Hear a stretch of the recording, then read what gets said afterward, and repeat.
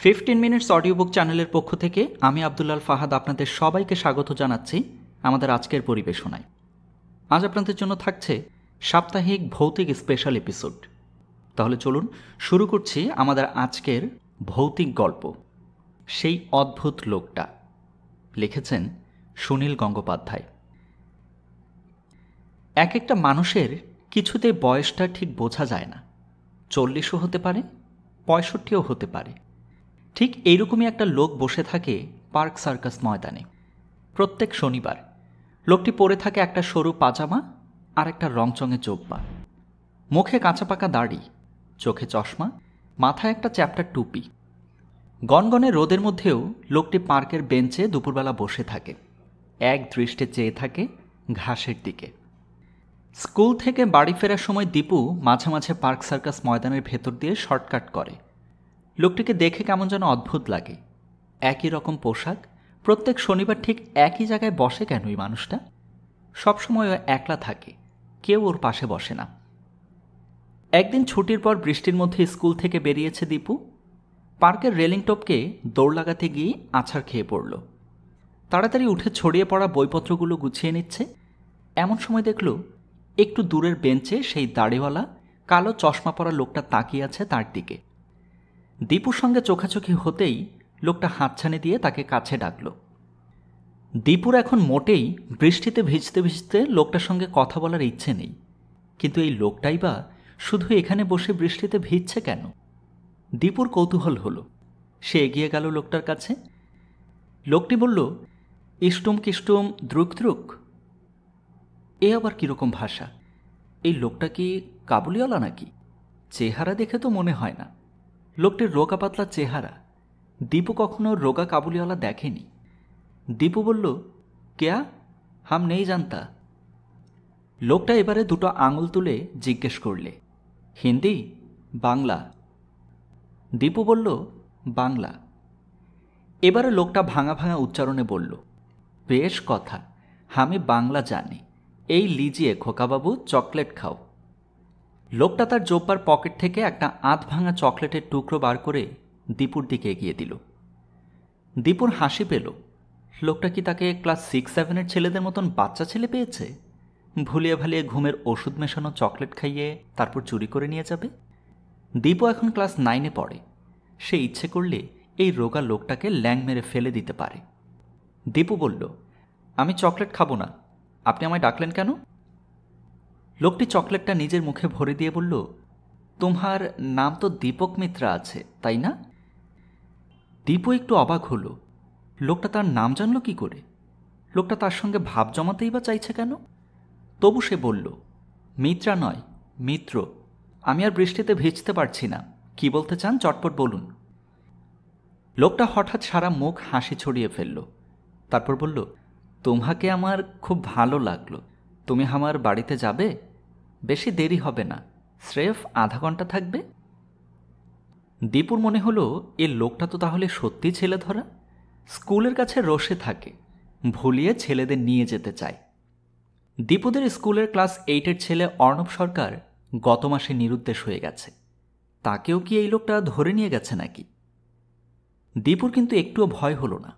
সে বলল, আমাকে আপনার বাড়ি নিয়ে যাবেন? কেন? আমি মাছ খাই না, শুধু মাংস খাই। আলু সেদ্ধ আর ডিম সেদ্ধ একসঙ্গে মেখে খাই। দুধ আর কোকো মিশিয়ে খাই। এসব খাওয়াতে পারবেন? লোকটা হা হা করে হেসে উঠে বলল, বেশ তো, আমি তোমাকে মুরগ মুসল্লাম খাওয়াবো, ঠান্ডা লচ্ছি খাওয়াবো, যদি তুমি একঠো কাম করতে পারো। ধ্যাত বলে দীপু আবার চলতে শুরু করল। লোকটা তখনও হাসতে লাগল জোরে জোরে। দীপু আর পিছন ফিরে তাকালো না।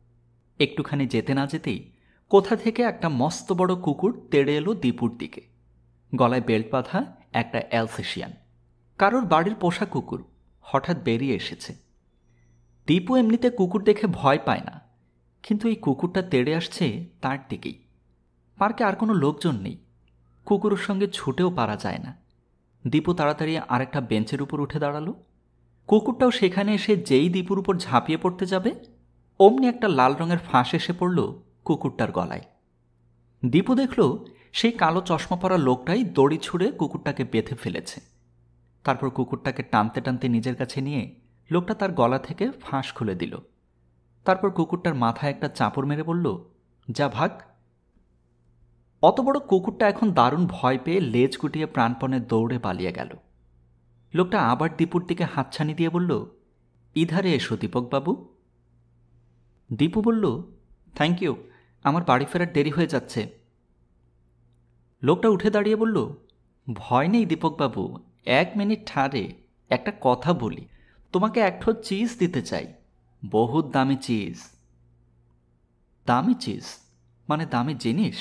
সেটা আমাকে দেবেন কেন? দেব, তোমাকে আমার পছন্দ হয়েছে সেই জন্য। তার বদলে তোমাকেও একটা কাজ করতে হবে। যাবে আমার বাড়িতে? না, স্কুল থেকে ঠিক সময় বাড়ি না ফিরলে আমার মা চিন্তা করবেন। তাছাড়া আমি বৃষ্টিতে ভিজে যাচ্ছি। সামনে আমার পরীক্ষা। ঠিক আছে, বৃষ্টি আমি থামিয়ে দিচ্ছি। এই দেখো, এক, দো, তিন। হাতের সেই লাল রঙের দড়িটা শূন্যে ছুড়ে দিয়ে লোকটা পাঁচ পর্যন্ত গুনে বলল, এই দেখো, বৃষ্টিকে বেঁধে ফেলেছি আমি, এবারে রোদ উঠবে। বৃষ্টি সত্যি থেমে গেল। যদিও আগে থেকে একটু কমে আসছিল। দীপু হেসে বলল, আপনি বুঝি কুকুরের মতন বৃষ্টির গলাতেও দড়ি বাঁধতে পারেন? আপনি আপনি, বৃষ্টি কমে গেছে। লোকটি বলল, তোমাকে আমি আরেকটা চিজ দেখাচ্ছি। তুমি এই দড়িটাতে হাত দাও। দীপু সাবধান হয়ে গিয়ে বলল, না, আমি দড়িতে হাত দেব না। ঠিক আছে, ওই গাছটায় হাত দাও। কেন? তাতে কি হবে? দিয়ে দেখো না। লোকটা তার হাতের দড়িটা দিয়ে গাছটার গায়ে একবার মারল। তারপর দীপু সেই গাছটার গায়ে হাত ছোঁয়াতেই দারুণ চমকে উঠল। দীপুর সারা শরীরটা ঝনঝন করে উঠেছে। ঠিক কারেন্ট লাগলে যেমন হয়। গাছের গায়ে তো কখনো কারেন্ট থাকতে পারে না। এই লোকটা তাহলে ম্যাজিক দেখাচ্ছে দীপুকে? ঠিক দীপুর মনের কথাটা বুঝতে পেরেই লোকটা বলল, এসব ম্যাজিক নেহি ম্যাজিক নেহি। আসল জিনিস আছে। আরেকটা দেখবে? ওই দেখো, আসমান দিয়ে একঠো অ্যারোপ্লেন যাচ্ছে। যাচ্ছে তো? দীপু ওপরের দিকে তাকিয়ে দেখল, প্রায় তাদের মাথার উপর দিয়েই একটা প্লেন উড়ে যাচ্ছে। সেই লোকটা লাল দড়িটা ছুড়ে দিল শূন্যের দিকে, তারপর বলল, যা। প্লেনটা অমনি অদৃশ্য হয়ে গেল। এবারে গা ছমছম করে উঠল দীপুর। এ কার পাল্লায় পড়ল সে? এই সময় পার্কটা এত ফাঁকাই বা কেন? লোকটা যদি দীপুকে ওই দড়িতে বেঁধে ফেলে? দীপু শুকনো গলায় জিজ্ঞেস করল, কি হলো প্লেনটার? ধ্বংস হয়ে গেল? না না, ধ্বংস হবে কেন? তাহলে তো ভিতরের আদমিগুলোও মরে যাবে। আমি তো কোনো মানুষ মারি না। আমি শুধু তোমার আখ থেকে মুছে দিলাম অ্যারোপ্লেনটাকে। শোনো দীপকবাবু, আমি তোমাকে যে চিজ দেব বলেছিলাম, তা কোনো আসান চিজ নয়। তোমাকে দেব আসলি চিজ। তা হলো জ্ঞান। তুমি আমার কাছ থেকে এই জ্ঞান যদি নাও, তবে তুমি অন্ধকারও দেখতে পাবে, আগুন লাগলে হাত পুড়বে না। তিন দিন কিছু না খেলেও ভোখা লাগবে না আরও অনেক কিছু পারবে। ঠিক আছে, শিখিয়ে দিন। আভি তো হবে না, দু এক ঘণ্টা টাইম লেগে যাবে।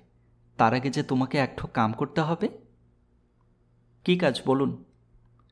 তুমি আমাকে একটা দাওয়াই খাওয়াবে। দাওয়াই? মানে ওষুধ? হ্যাঁ হ্যাঁ আমার বাড়িতে সেই ওষুধ আছে, খুব দামি হেকেমি ওষুধ। পাঁচ ফোঁটা তাজা রক্ত মিশিয়ে সেই ঔষধ তৈয়ার করতে হয়। চোদ্দ পনেরো বছরের বুকের রক্ত। তুমি সেইটুকু রক্ত আমাকে দেবে? রক্ত? হ্যাঁ মাত্র পাঁচ ফোঁটা। আসলে হয়েছে কি জানো, আমি তো শুধু রোদ্দুর খাই। রোদ্দুর না থাকলেই আমি দুবলা হয়ে যাই। তখন ওই দাওয়াই খেতে হয়। আপনি রোদ্দুর খান? হ্যাঁ দীপকবাবু, আমি কিছু খাবার খাই না। রোদ্দুর খেলেই আমার শরীর খুব তাজা থাকে। মুশকিল হয় এই বর্ষাকালে। এক একদিন রোদ্দুরই থাকে না, শুধু মেঘ, শুধু বৃষ্টি। তখন আমি দুবলা হয়ে যাই। আপনি তো ইচ্ছে করলেই বৃষ্টি থামিয়ে দিতে পারেন। বৃষ্টি বন্ধ করে দিয়ে রোদ খাবেন? আরে বাপরে বাপ, সে কি কখনো হয়? বর্ষাকালে যদি বৃষ্টি বন্ধ হয়ে যায়, তবে কত ক্ষতি হবে। চাষবাস হবে না ধান গম হবে না, কত লোক না খেয়ে মরবে। আমার একেলার সুখের জন্য কি আমি বৃষ্টি বন্ধ করতে পারি? তুমি আমায় একটু দাওয়াই খাইয়ে দাও, স্রেফ পাঁচ ফোঁটা রক্ত। দীপু খানিক্ষণ হাঁ করে লোকটার মুখের দিকে তাকিয়ে রইল। তারপর আস্তে আস্তে বলল, এখন আপনার বাড়ি যাব? অনেক দেরি হয়ে যাবে, আমার মা খুব চিন্তা করবেন। আমি কাল যদি আপনার বাড়ি যাই, কাল মাকে বলে আসব যে একটু দেরি হবে। কাল? ঠিক আসবে? হ্যাঁ আসব। আপনি ভাববেন না যে আমি পাঁচ ফোঁটা রক্ত দিতে ভয় পাই। আমি আজকে এখন বাড়ি যাব। তাহলে এসো কালকে। দীপু বারবার পেছন তাকাতে তাকাতে চলে গেল পার্কটা পেরিয়ে। লোকটা একই জায়গায় দাঁড়িয়ে আছে। বৃষ্টি নেমে গেল আবার। দীপু অবশ্য এই ঘটনাটা বাড়িতে কারুকে বলল না। কিন্তু লোকটা তাকে দারুণ ম্যাজিক শিখিয়ে দেবে ভেবে সে খুব উত্তেজিত হয়ে রইল। পাঁচ ফোঁটা রক্ত তো অতি সামান্য ব্যাপার। সেদিন বিকেল থেকে সারা রাত বৃষ্টি হলো। পরের দিনও সেরকম বৃষ্টি। সেদিন রবিবার, দীপুর স্কুল বন্ধ। তবু বিকেলের দিকে এক বন্ধুর সঙ্গে দেখা করার নাম করে সে চলে এলো সেই পার্কে। সেই লোকটা নেই। এত বৃষ্টির মধ্যে কেউই পার্কে আসেনি। খানিক্ষণ অপেক্ষা করে চলে এলো দীপু। এরপর পরপর কয়েকদিন চলল খুব বৃষ্টি। আকাশে রোদই ওঠে না। দীপুর খালি মনে হয় সেই লোকটা কিছু না খেয়ে আছে, আরও দুর্বল হয়ে পড়ছে। ওষুধ খাবে কি করে? অন্য কোনো ছেলে কি পাঁচ ফোঁটা রক্ত দেবে? বৃষ্টির জন্য স্কুল বন্ধ রইল দুদিন। তার পরের শনিবার দীপু ছুটির পরেই দৌড়ে এলো পার্কে। লোকটা আজও বসে নেই তার সেই নিজের জায়গাটায়। কিন্তু সেই বেঞ্চটার উপরে একটা লাল রঙের দড়ি পড়ে আছে। এটা কি সেই ম্যাজিকের দড়ি? লোকটা দীপুর জন্যই রেখে গেছে? কিন্তু দীপু সেই দড়িটা ছুঁয়ে কিছুই বুঝতে পারল না। লোকটা তো তাকে তার জ্ঞান কিংবা ম্যাজিক শিখিয়ে যায়নি। লোকটাকে আর কোনোদিন দেখতে পায়নি দীপু।